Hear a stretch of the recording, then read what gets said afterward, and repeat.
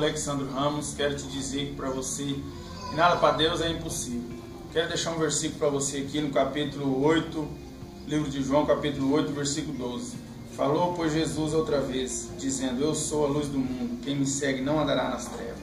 Portanto, querido, quero deixar bem claro: eu andava nas trevas, não conhecia Jesus, não conhecia a palavra de Deus, né? jogado pelas ruas, muitas vezes dormia fora de casa, meus pais preocupados, a sociedade me julgava, a sociedade me criticava, olhava para mim e não dava nada. Mas só que eles olhavam pela aparência, mas quando foi um dia, Jesus olhou por dentro, por dentro e viu que algo, sinceridade no meu coração, que pessoas iam seguir Jesus através de mim. E eu não conseguia entender.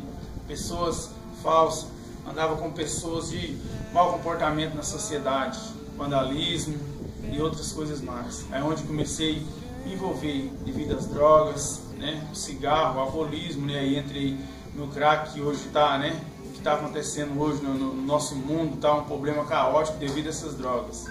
Aí aprofundei na maconha, no alcoolismo.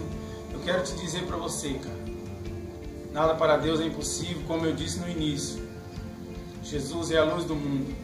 Aí comecei, né, comecei para a igreja, aí comecei a sentir algo espetacular, algo extraordinário, onde o Espírito Santo começou a trabalhar depois de dois meses, ainda dois meses eu estava indo para a igreja, ainda estava usando droga, sendo escravizado por Satanás.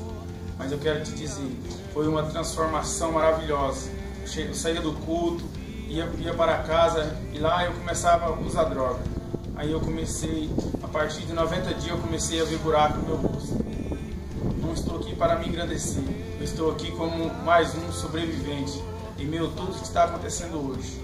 Quero te dizer, talvez você vai ver esse testemunho e não vai acreditar, mas eu te digo, há uma saída. Há uma saída para você. Tenha uma esperança. Enquanto há esperança, há vida. Jesus, ele morreu na cruz pelos seus pecados, pelo seu sofrimento. O castigo que estava sobre ele nos traz a paz hoje. Eu quero te dizer, filho, filho, saia desse mundo correndo. Saia desse mundo o mais depressa possível. Porque eu te digo, Jesus em breve voltará. E Ele quer te abençoar nesta cidade. Aqui está o pequeno testemunho de Alexandre Ramos.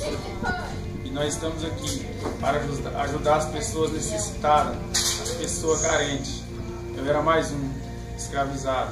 Eu era mais um perante essa sociedade onde as pessoas apontam para drogados, apontam, para prostituta.